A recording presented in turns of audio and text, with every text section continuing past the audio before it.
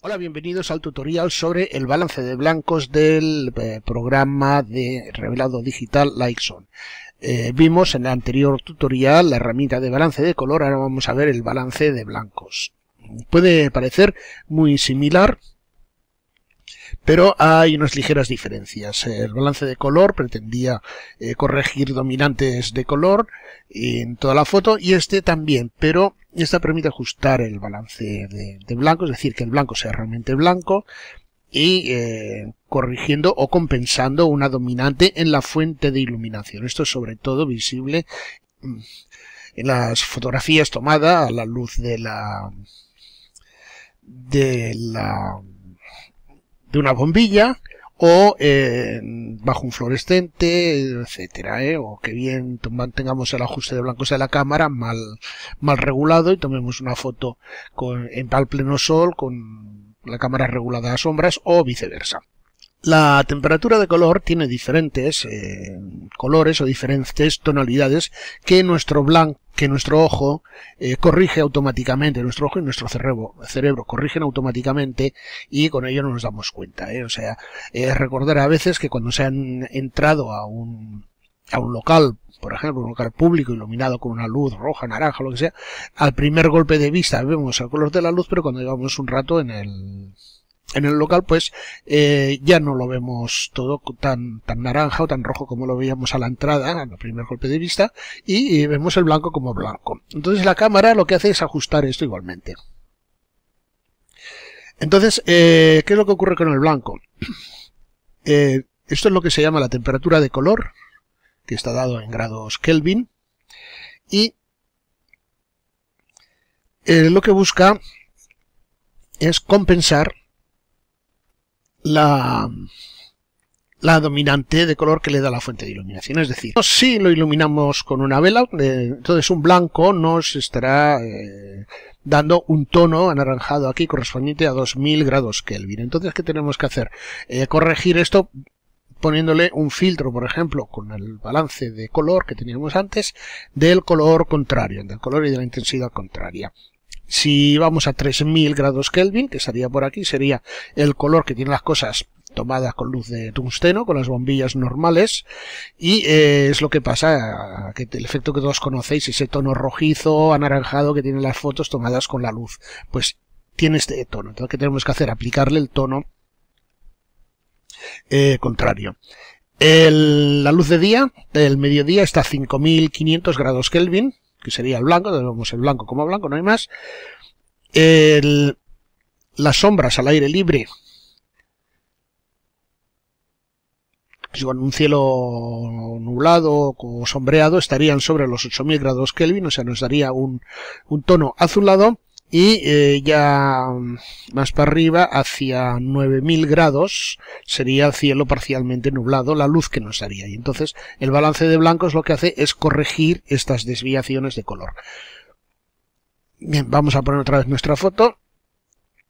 El entonces aquí lo que tenemos eh, que nos corregiría el balance de blancos sería esto. Ahora tenemos dando una temperatura de 5000 en teoría y entonces, ¿qué es lo que hacemos? Sí. Mm, esto que le ponga a 5000 está es la regulación que no está aquí, ¿eh? O sea, eh, no creáis que esto está tomado a 5000 grados. No. O sea, siempre cuando abramos nos saldrá con un 5000 aquí. ¿Veis? 5000 y entonces nosotros le aplicaremos la luz contraria. ¿eh? Entonces, si esto está en, un tono eh, azul, vamos a verlo aquí si esto está en un tono azul, lo que tenemos que darle es el tono contrario, bajarle eh, temperatura, porque este está a temperatura muy alta. Y entonces aquí pasaríamos a iluminarlo, a darle una temperatura de 6500 o por ahí grados de Kelvin para que tomara el aspecto que eh, nosotros queremos. El tinte eh, nos nos cambia el valor hacia verde o hacia magenta, eh, normalmente no lo tendremos que tocar porque eh, es eh, o como mucho muy ligeras variaciones para corregir el, el equilibrio de los verdes. Y hay otra solución que sería con el cuentagotas, ir a tomar una zona, un gris medio, y entonces aquí también nos corregiría de acuerdo con este gris medio que tenemos.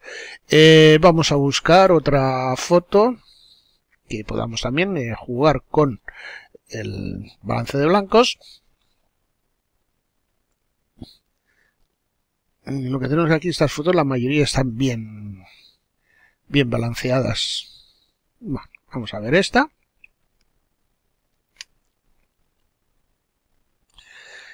Esta foto veis que tiene un ligero tono amarillento, toda ella, aunque esté bastante bien balanceada.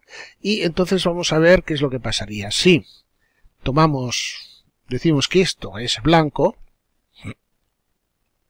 ahora fijaros cómo nos ha cambiado el tono y nos ha dado el tono eh, de que todo todo él es eh, más eh, mucho más blanco de lo que era antes vemos aquí el tono que tenía al aplicarle la temperatura ¿por qué? porque estaba originalmente vamos a ver cómo estaba originalmente eh, quitamos esto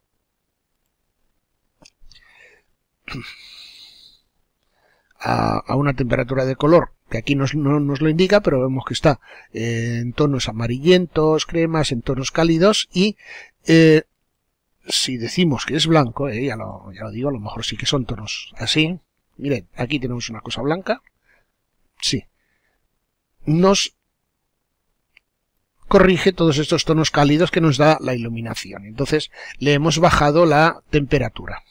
¿eh? Es decir,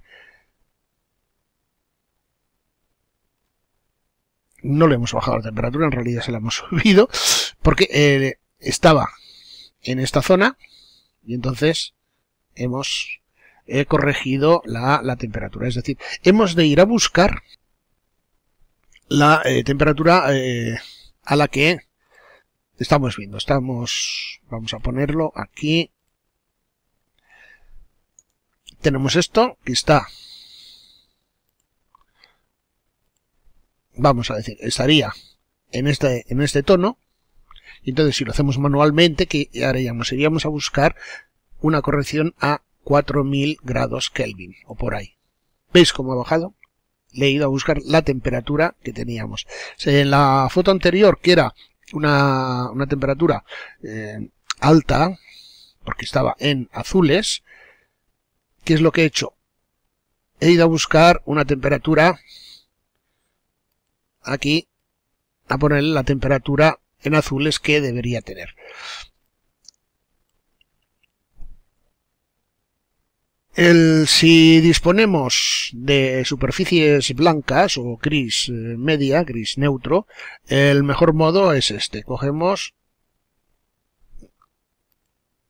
tocamos con el con el cuentagotas y automáticamente nos va a buscar el blanco que eh, teníamos que dar. Y esto va bien para toda clase de fotografía. Entonces ya está el gusto personal si a uno le gusta darle un poquito más, un tono un poquito más cálido o un poquito, un tono un poco más frío. Pues eh, bueno, esto es lo que podemos hacer con la rápida de balance de blancos. Esto es importantísimo pues porque en la mayoría de fotografías lo haremos, lo utilizaremos. Vamos a ver otra otra fotografía, el, empleo del balance de blancos.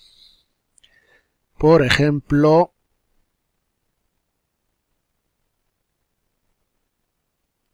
esta de aquí.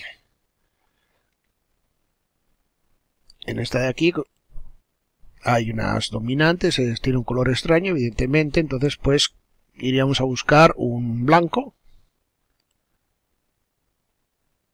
¿Mm? Y con recuerdo con esto pues podríamos eh, corregir el color a nuestro gusto. ¿eh? Esto son la una fotografía eh, realmente muy tomada en condiciones extremas porque aparte de de la hora, de un sol bajo, además tenemos todo este humo que está filtrando la fotografía o la luz que le llega. Entonces, lo que sí podemos hacer pues es ir jugando con el cuentagotas a ir a buscar el equilibrio de blanco que nos interesa. ¿Veis? Aquí tenemos uno que sí, que es blanco realmente, total. Y este sería, el, el, en teoría, el equilibrio mejor. Aunque a mí me gustaría pues darle un poquito más de tono cálido Pero eso ya son asuntos personales. Muy bien, pues entonces eh, muchas gracias por ver los tutoriales. Espero que que os haya que os haya gustado, que os haya sido útil el tutorial y espero veros en los próximos tutoriales. Hasta pronto.